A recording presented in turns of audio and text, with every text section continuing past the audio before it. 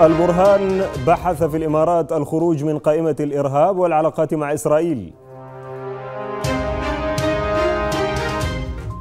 الوساطة تعرض الورقة النهائية لاتفاق السلام على الحكومة والجبهة الثورية.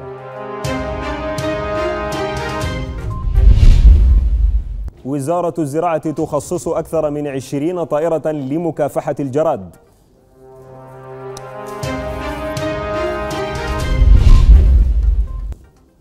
المالية تنفي أي نية للتراجع عن الهيكل الراتبي.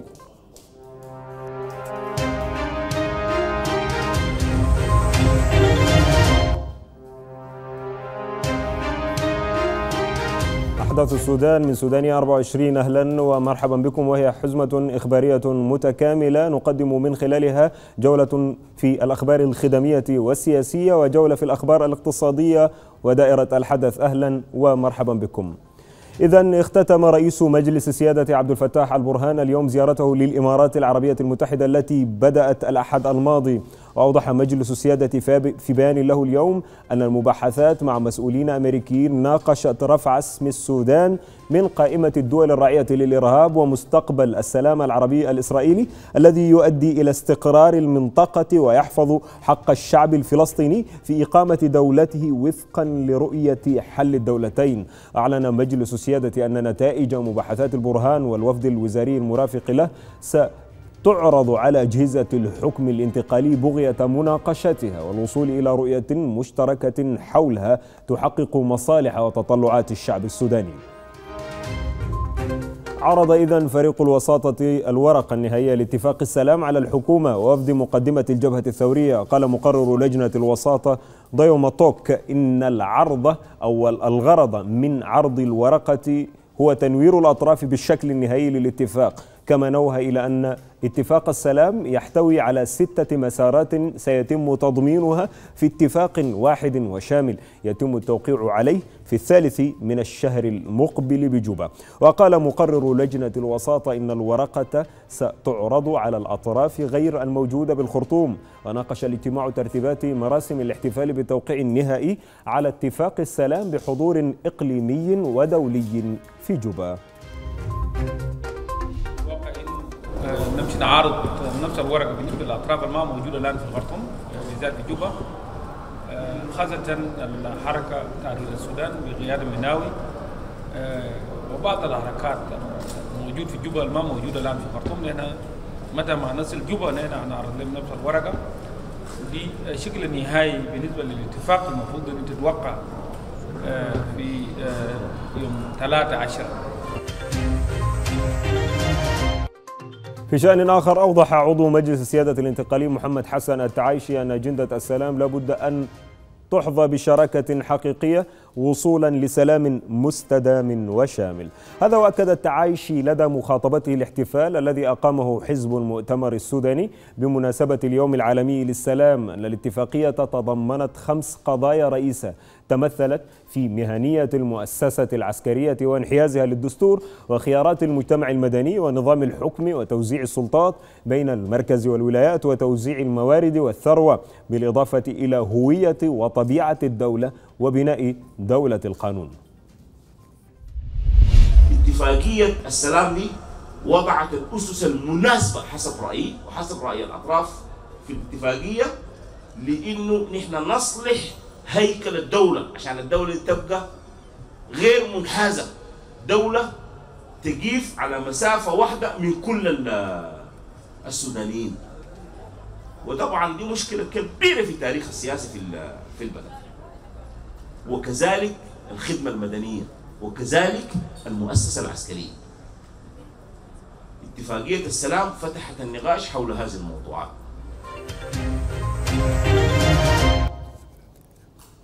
بحثت الأمم المتحدة مع حكومة شمال دارفور تنفيذ مشروعات بمنطقة طويلة لتعزيز بناء السلام المجتمعي بكلفة تبلغ أربعة ملايين دولار.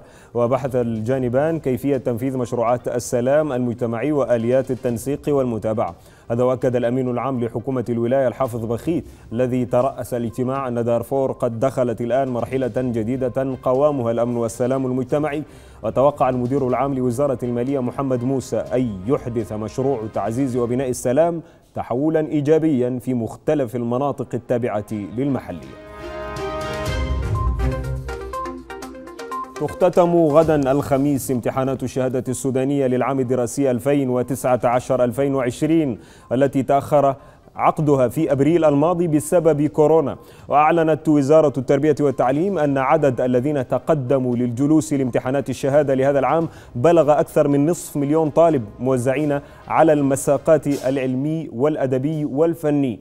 واشارت تقارير اوليه إلى أن الامتحانات هذا العام سارت بشكل سلس في معظم الولايات على الرغم من الفيضانات التي اجتاحت ولايات السودان خلال الأسابيع الماضية. هذا ويذكر أن امتحانات الشهادة السودانية هذا العام شهدت غيابا ملحوظا من قبل الطلاب في عدد من الولايات.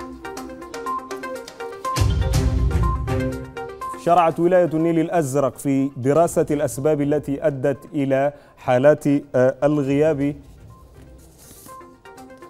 عن امتحانات الشهادة السودانية لهذا العام. ووقفت المديرة العامة لوزارة التربية والتوجيه بالنيل الأزرق عائشة عامر على أسباب الغياب في امتحانات الشهادة السودانية والمشاكل التي تواجه المدارس الثانوية الخاصة في المساقين العلمي والأدبي. وزارت مسؤولة التعليم بالولاية عددا من المدارس.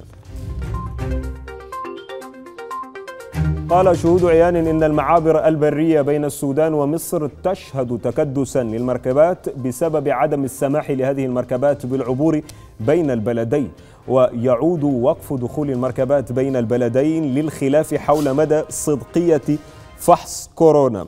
وأوردت مواقع صحفية أن الجانب المصري أرجع عددا من الشاحنات والباصات السفرية كما منع دخولها إلى مصر بسبب التشكيك في فحص كورونا للركاب والسائقين. وأشارت إلى أن الجانب السوداني بدوره رفض إدخال المركبات المصرية ردا على الرفض المصري لدخول الشاحنات والمسافرين القادمين من السودان. أطلقت المنظمة الطبية الدولية أطباء بلا حدود استجابة طارئة لمساعدة الأشخاص المتأثرين بالفيضانات وعملت المنظمة لتوفير الإغاثة الفورية للمناطق التي تضررت بشدة جراء السيول والفيضانات. كما نشرت المنظمة فريقين في ولايتي الخرطوم وسنار يعملان مع السلطات المحلية للاستجابة بسرعة للوصول إلى المتضررين وتوزيع مواد غير غذائية. وتشغيل عيادة متنقلة. كما أكدت المنظمة التزامها بمواصلة تقديم خدماتها الطبية في السودان بما في ذلك حالات الطوارئ. شكلت إذن وزارة الصحة في الخرطوم لجنة الطوارئ طوارئ الخريف التي تهدف لحصر الاحتياجات الدوائية من أصناف الأدوية. كما كشف المدير التنفيذي بإدارة الصيدلة وعضو لجنة طوارئ الخريف سوسن الطاهر عن تلقيهم بلاغات تفيد بزيادة الحاجة للمحاليل الوريدية وبعض الأدوية عقب ظهور بعض الأمراض الخريفية. وأوضحت أن اللجنة نفذت زيارات ميدانية للمراكز الصحية والمستشفيات بالولاية وحذرت السلطات الصحية من ظهور أمراض على خلفية الفيضانات التي اجتاحت البلاد مؤخراً.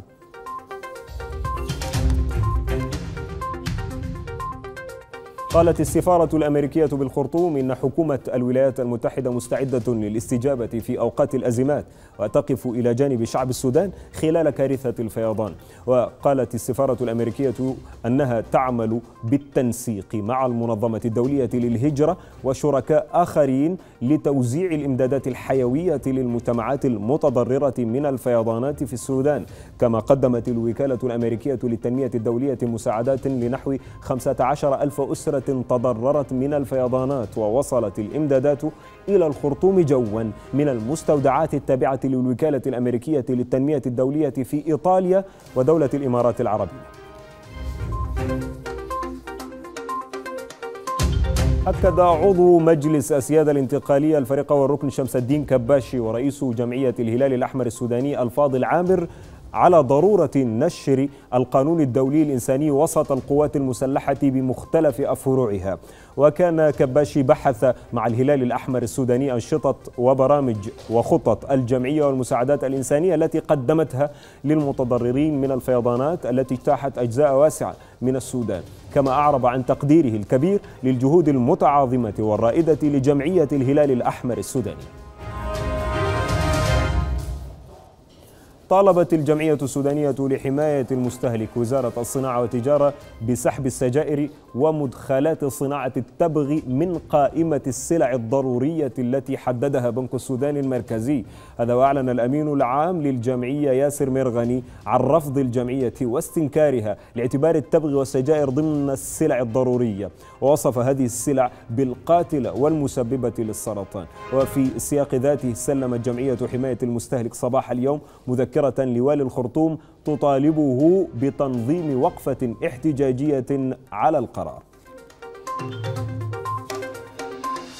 إذا حذرت دراسة جديدة من أن ظاهرة التغير المناخي تهدد بتدمير المعالم الثقافية التي لا تقدر بثمن والتي تعد تراثا عالميا. ويأتي هذا التحذير في الوقت الذي يحاول فيه علماء الأثار في السودان منع وصول مياه نهر النيل إلى مواقع التراث العالمي الذي حددته الأمم المتحدة في البجراوية. ومن بين المواقع المهددة سواكن على ساحل البحر الأحمر في السودان ودعا باحثون من بريطانيا وكينيا والولايات المتحدة إلى التحرك من أجل الحفاظ على أهم معالم تراث أفريقيا نتيجة للتأثيرات المباشرة وغير المباشرة لتغير المناخ على مدى العقود المقبلة.